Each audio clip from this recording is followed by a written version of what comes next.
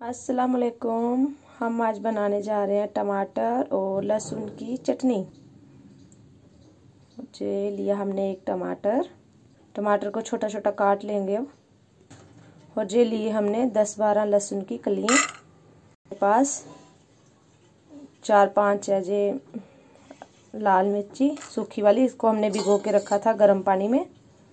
जे, हमने छोटा छोटा टमाटर भी काट लिया। इसके नीचे है जे लहसुन की कलियाँ। और जे सूखी वाली मिर्ची। अभी इन सबको हम मिक्सी जार में डाल देंगे और इनको ग्राइंड करना है। आपको ग्राइंड करने के बाद दिखाते हैं। और अब हम इसमें थोड़ा सा थोड़ा सा पानी डालेंगे। अब इसको हम ग्राइंड कर लेते हैं। देखिए जी, अभी हो गया जी ग्राइंड जो टमाटर, लाल मिर्ची, सूखी वाली और लहसुन का पेस्ट बन के हो गया तैयार। पैन लेते पैन लेते हैं। मैं थोड़ा ही बना रही हूँ, इसलिए छोटा ले रही हूँ।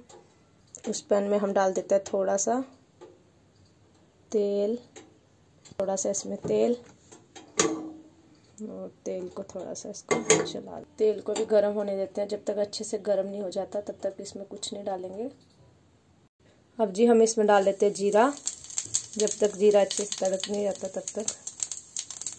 इसमें डाल देते हैं जो टमाटर का बनाया हुआ था। भी हमने इसको थोड़ा नीचे उतार लिया था। थोड़ा वो पानी डाल के जो गर्म किया ना, उसकी वजह से तेल में इसको। अब हम इस, इसमें डाल लेते हैं लाल मिर्च पाउडर, थोड़ा सा नमक, थोड़ी सी एक पिंच हल्दी, थोड़ा ज़्यादा ही डालेंगे, ये धनिया पाउडर को मिक्स कर लेते हैं। तब तक हम इसको रहने देंगे गैस पे, जब तक ये तेल नहीं छोड़ देते है।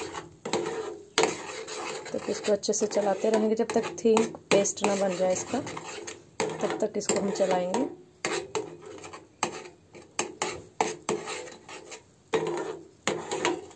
देखिए मैं थोड़ा थोड़ा तेल छोड़ रहा है ये, साइड साइड से।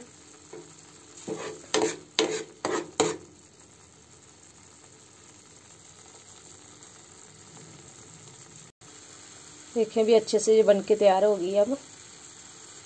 इसने पूरा एकदम पूरा तेल छोड़ दिया। बन के होगी तैयार। ये सबसे ज़्यादा अच्छी मतलब बच्चों को ज़्यादा अच्छी लगती है ये और गर्मा गर्म रोटी के साथ इसको खाएँ, चावल के साथ खाएँ, रोटी के साथ खाएँ। दाल, चावल, रोटी, टमाटर, लहसुन और सूखी वाली रेड मिर्ची की चटनी। बन के होगी तैयार। आप भी बनाइए और खाइए।